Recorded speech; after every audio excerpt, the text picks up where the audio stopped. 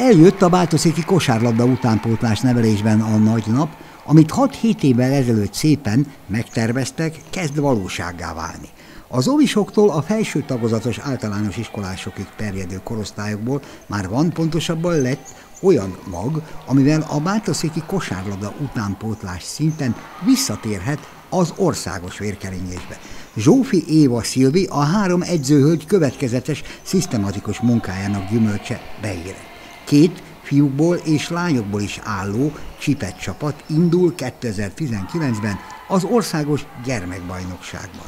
Az egyik, amely alapvetően Csabatót Zsófia csapata, a napokban éppen hazai pályán mutatkozott be a Kecskemét és a szomszédos Baja ellen a 2009-2010-es korosztályban. Utánpótlás szinten kosárlabda fellegvárnak számító bajaiaknál, mivel ott van önálló női és férfi szakosztály, ezúttal csak fiúk szerepeltek a mini csapatokban, míg a Báltaszéki kék-fehérre ké vegyes csapat volt.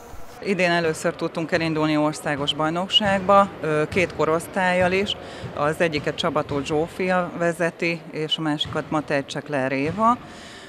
Itthon ez az első hazai országos szereplésünk, úgyhogy ez egy újabb mérföldkő, nagyon örülünk neki, és a szakosztályon belül pedig minden korosztályunkat tudtuk bajnokságban indítani, tehát az első osztályostól kezdve a, a felnőtt kosarásig bajnokságban játszik.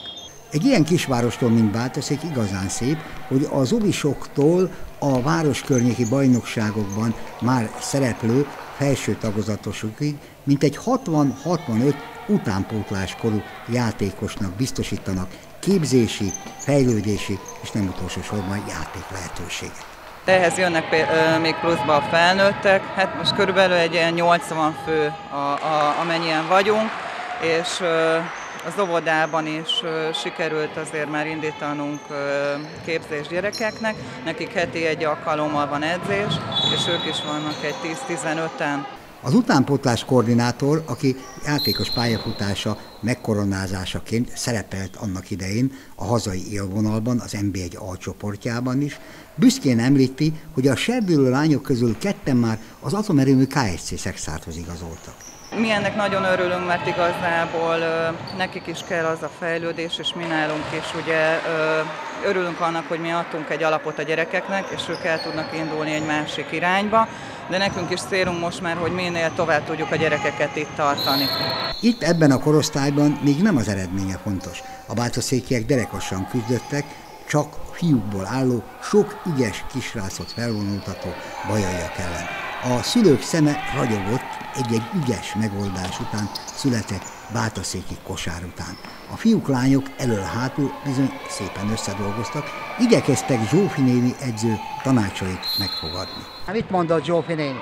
Hát, hogy legyek aktívabb, meg hogy tehát legyek kicsit agresszívabb, Dani magassági fölényét érvényesítve a gyűrűbe is többször betalált, és hajtotta a többieket, még, még, még ennyi nem elég, és igyekezett egy-két dolgot ellesni a bajaiaktól. Mit lehet tőlük megtanulni?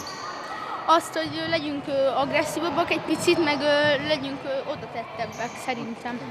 Igen. Mit fejlődtél? Három éve találkoztunk, akkor még nagyon pici voltál. Mit tudsz a kosárlabdából? Hát többet tudok, az szerintem biztos, és mi az erényed? Távolról hogy dobsz? Hogyan szeded a lepattanókat? Hát távolról nem kevésbé vagyok jobb, lepattanók szempontjából meg ja, jobb, ott jobb, mint távolról.